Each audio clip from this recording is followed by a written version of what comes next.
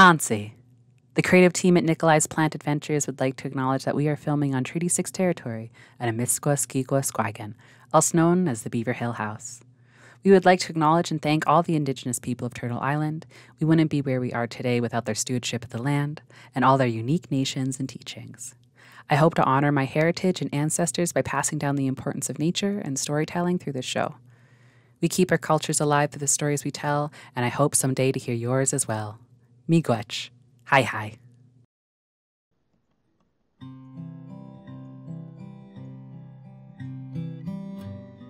It is mid fall here at the Beaver House, and we just experienced our first snowfall. Most of the trees are pretty bare. You can see a few tiny buds, but all the leaves have gone. This one still has some leaves. See? Three little leaves. This one still has most of its leaves. I wonder why. I appreciate that it's so colorful.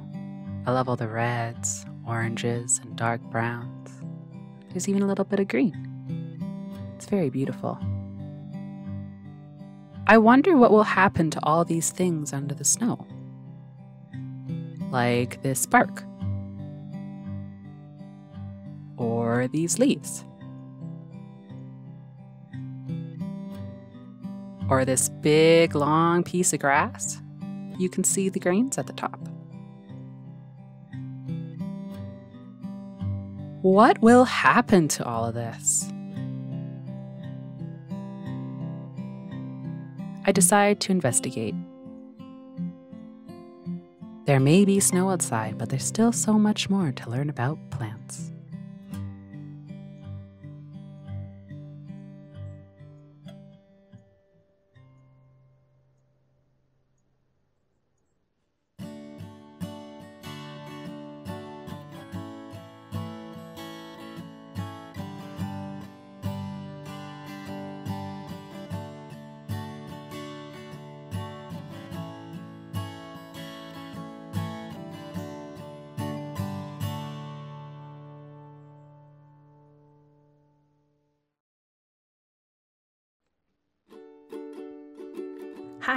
I'm Nickle-Eye, and I'm about to go on an adventure. Come join me. I live on Turtle Island. Turtle Island is full of unique plants and animals. There's so much to explore. Whether it's day, night, sunny, or snowy, there's always something new to learn. I love learning new facts about my favorite subjects plants, and nature, and ecosystems, and soil, and bugs. I love trying out new activities I love finding new ways to move my body and make arts and crafts. But what I love most of all is learning new stories. Stories are the best way to learn. They can explain nature, give moral lessons, and just be fun. I want to learn as many stories as I can so I can write my own. Can you help me out with that? Awesome. Let's go on our adventure.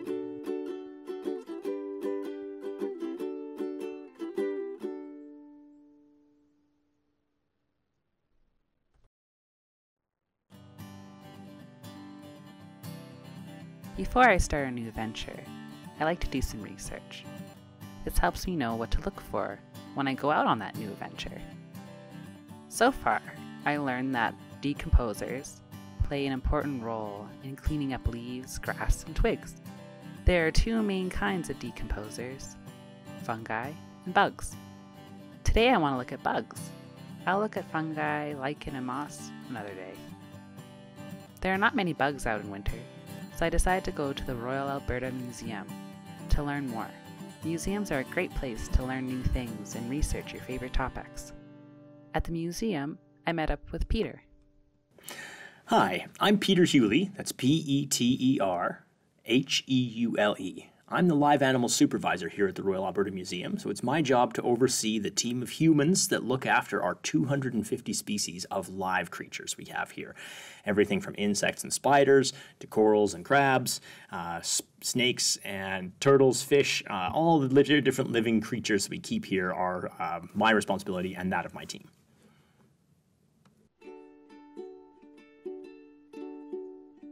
Here in the bug gallery, we don't have a lot of our sort of local decomposers on display, other than you know a few sow bugs and, uh, and things. But if you look at some of the larger, more charismatic creatures we've got, like the giant African millipedes or the giant tropical cockroaches, we do have sort of our own local versions of some of these guys. So the millipedes, we have seven different species of millipedes in Alberta, and they're no more than maybe a couple of centimeters long. So they're a much, much smaller version than these very large African species we're displaying. And for the cockroaches, the only cockroaches we have in Alberta are a handful of the different house pest species that have found their way here. So they're really only living in human buildings. But it is important to remember that cockroaches in their home environment, when they're not being a house pest, uh, and there's 4,600 species of roaches in the world, um, these guys are really important woodland decomposers that are helping to break down those nutrients and not really a problem at all. So in your house, definitely don't want them there, but out in the environment, they have an important role to play.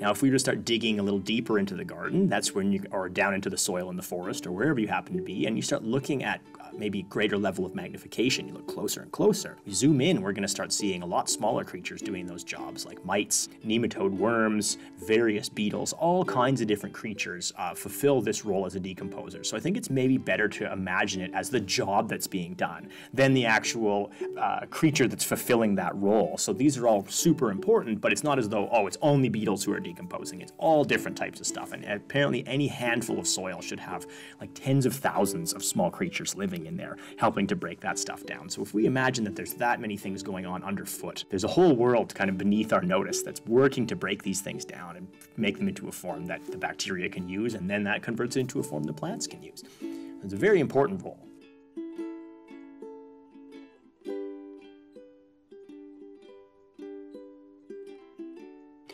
Decomposers like millipedes, isopods, mites, beetles, all these other uh, creatures that are performing this role are essentially breaking down dead plant and animal matter they encounter. They're chewing it up, they're digesting it, and they're basically pooping it out in a form that's a lot easier for things like fungus and bacteria to break down. Now, although those are smaller organisms, it doesn't really diminish their role. They're actually super important because that fertilizer can really only be converted to a form that the plants can absorb once the bacteria have helped to break that down further. Um, so it's once the bacteria have had their had their chance to absorb these nutrients and convert them into that form, then it's in the soil in a readily available format that those plants can suck up with their roots and start turning into new plant matter, new branches and leaves and bushes and trees and all those sorts of things.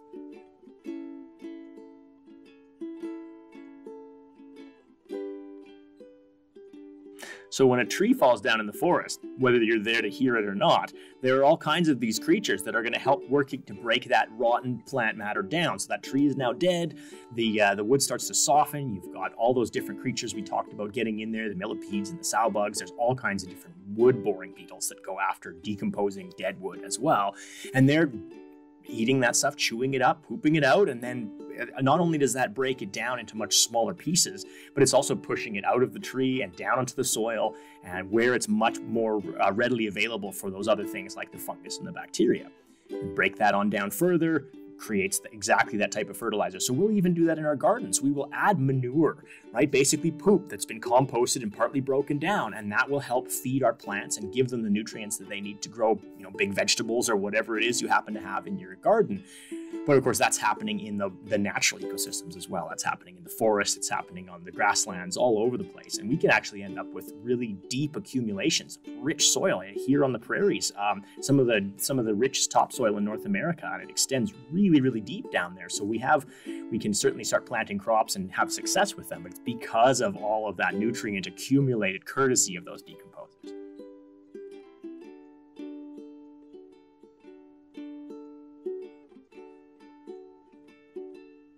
So, as far as we know, the only life that we're familiar with in the universe lives here on Earth. And uh, even the fact that Earth soil, dirt can actually, I mean, we can use dirt or dirty as like a negative adjective that something is either of low value, it's dirt cheap, or that it's it's uh, you know somehow disgusting and it needs to be washed up and cleaned up. But but it's this is this earth, this soil, this dirt is what all of our plants grow from. It's what our ecosystems are based upon. It's it's incredibly important. So I would love to see my fellow earthlings come to the conclusion that Earth is actually incredibly valuable, and that to say that it's dirt cheap or cheap as dirt, uh, that's it really undervalues what's keeping all of us alive on this planet. Um, and I think coming, you know, coming to you here from planet Earth, let's uh, let's give it the value it deserves.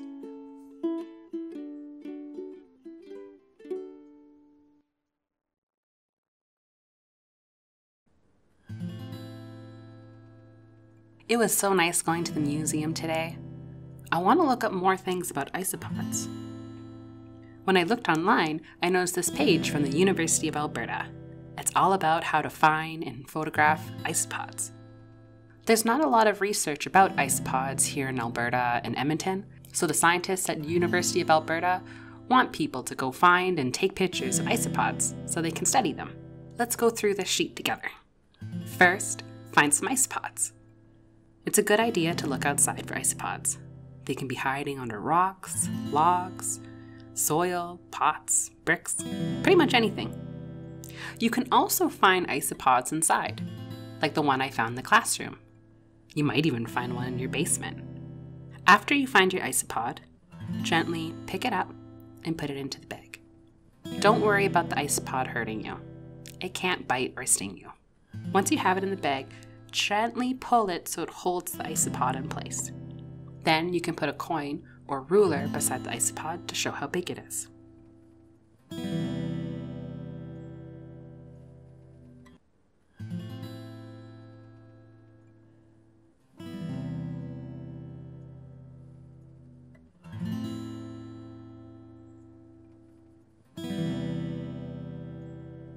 When you take photos, make sure to take photos at the top of the isopod and at the bottom of the isopod.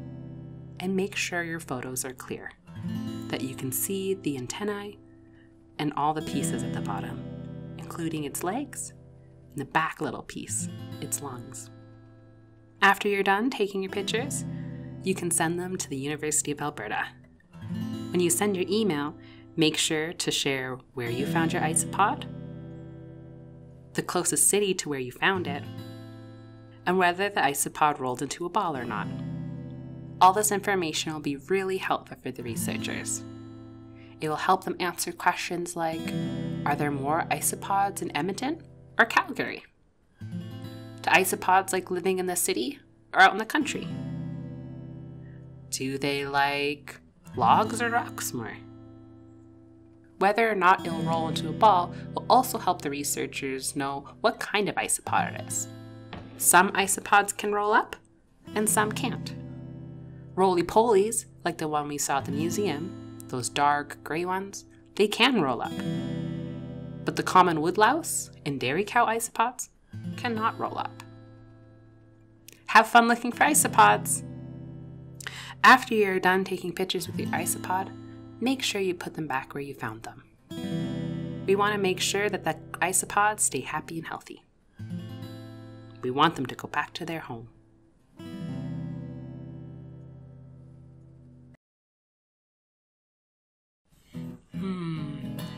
Learned so much today. What can I do? Hey, I got it. Nickle-Eye's Guide to Making Your Own Creepy Crawlies. The tools you'll need wax crayons, toilet paper rolls, any size will do, scissors,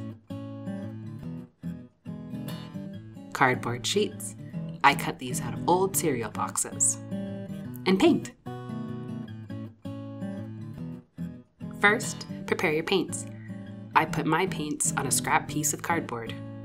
You can put yours on a painter's tray or dish. Next, dab your paints onto your toilet paper roll. If you have a big spot of paint, that'll be easy. You can do in one go. If you have a small spot of paint, like I do, you can turn the toilet paper roll to get it all. Next, make your circles. You can make round ones, or you can make ovals by squeezing in the sides. Next, color and design your bugs.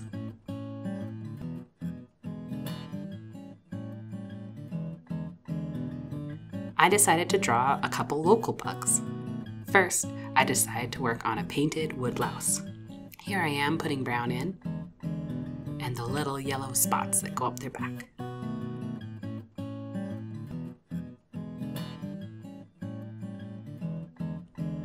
Finally, I put on their little leggies and some antennae.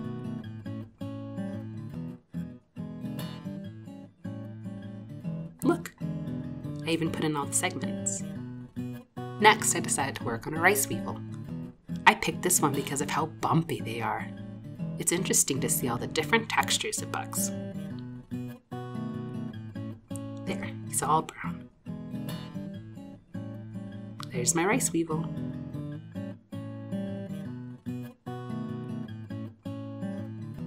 Now I'm trying to get that texture in. I'm trying to make it look bumpy. It broke my crayon. Oops. Let's try to get it in there. Hmm. Lastly, I made a Colorado potato bug. I liked all the stripes and splotches in its design. Here I am putting the stripes, adding the little antennae and legs, and then coloring it in with some reds and oranges. This one is smoother than the rice weevil. Look, there he is. I got all the stripes. Here I am trying to make some more bugs. I want to make another isopod. I'm going to try and make one of my dairy cow isopods.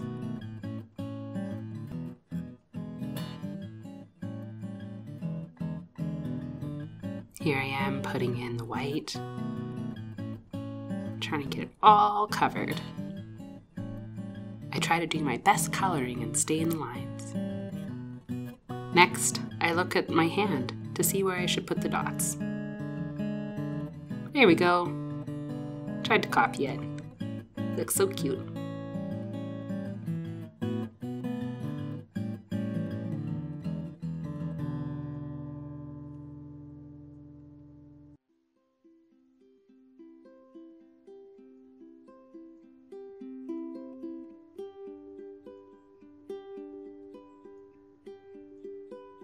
After an adventure, I like to sit and think about my day. Learning new information can remind you of old adventures and stories. Making connections between the information you just learned and something you already know can help you remember the information for the future. When Peter was talking, I made a connection to a Greek god I know Hades. Hades is the god of the underworld. According to the myths, Hades is responsible for looking after everyone that died in Greece. Some people think Hades is evil because he is involved with death.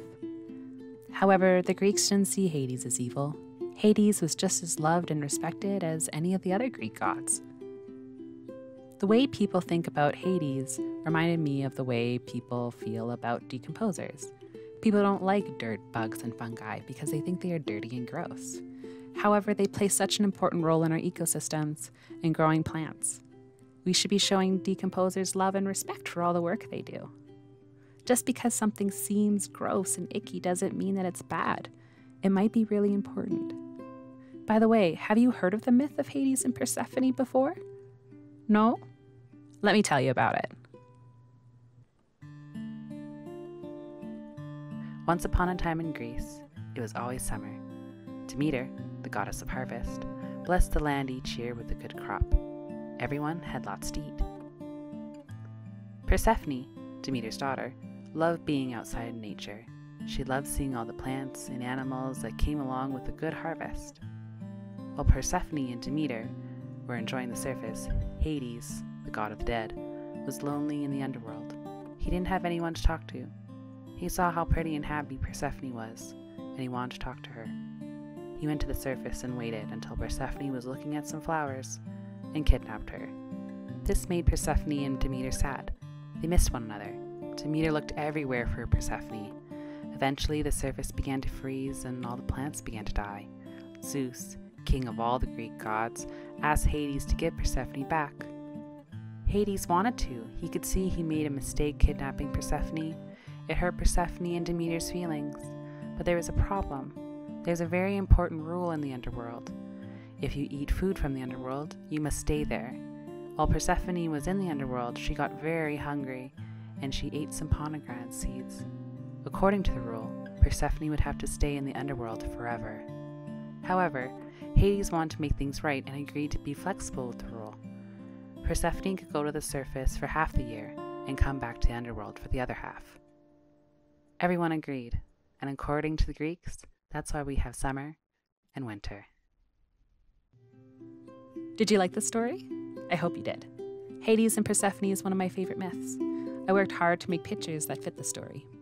I wanted to make my paintings unique, so I decided to use plants and fungi to represent the characters in the story. I picked a portobello mushroom for Hades. A portobello mushroom is a type of fungi.